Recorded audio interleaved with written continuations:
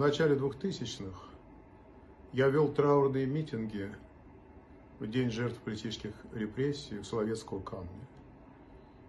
Я не видел столько цветов у одного памятника. Этот траурный митинг длился часами, потому что люди подходили и подходили. И я стоял там и видел, что это должно быть как-то иначе, потому что не хватало ни места всем, ни времени всем. И именно мемориал смог придумать, найти и проводить каждый год эту поразительную акцию возвращения имен, которая стала неотъемлемой частью не только жизни Москвы, но и жизни России. И дало возможность и тем, у кого погибли люди во в период политических репрессий и стали жертвами политических репрессий, и всем остальным, и молодому поколению, осмысливать и понимать, и отдавать дань памяти этим жертвам.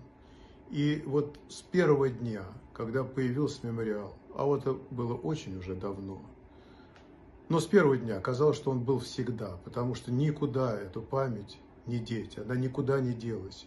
И он так естественно, а, достойно, подлинно смог это все проводить, организовывать, помогать огромному количеству людей – чтобы представить себе сегодня, что этого может не быть, что это может кто-то закрыть, запретить, просто невозможно.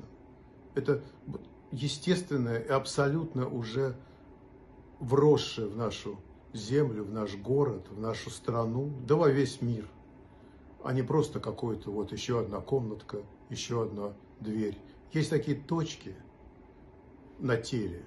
Кажется, одна точка, но вот ее случайно заденешь или не случайно, и сковырнешь, и так можно и не выжить после этого. Это любой врач вам скажет. И да, неудобное у нас прошлое, не только у нас, во многих странах, но мы должны жить вместе с ним и делать вид, что этого нет, невозможно. И одновременно я был на открытии памятника жертвам политических репрессий в Москве. И там выступал и говорил президент. Открывается Государственный музей ГУЛАГа и ведет огромную работу, и, кстати, совместно с мемориалом. Сейчас только что мы отмечали юбилей Сахарова, и будет открываться в Москве достойный, я надеюсь, памятник академику Сахарову, тому самому, который создал и был изначально в основе мемориала невозможно себе представить, что мемориала не будет. А, наверное, в его огромной деятельности можно к чему-то прицепиться. Что-то там э, может оказаться ошибкой или чем-то еще, но это абсолютно не повод, чтобы запретить или закрыть. Это про повод, чтобы уточнить, чтобы развиваться вместе. Потому что без памяти, без неудобной памяти, без осмысления прошлого – без той достойной международной деятельности не сможем мы жить. И я считаю, что такое закрытие ударит, конечно, не просто по мемориалу. Он ударит по всей стране, да по всему миру. Образ России станет другим.